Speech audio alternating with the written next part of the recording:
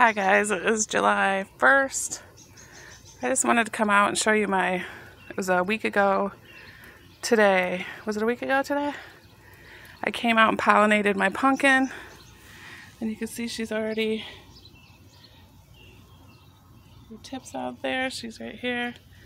It's just a small color my trailer park pumpkin, but look at the one I pollinated can definitely see she's gotten bigger and the flower's about dead at the end. So excited. I love her so much.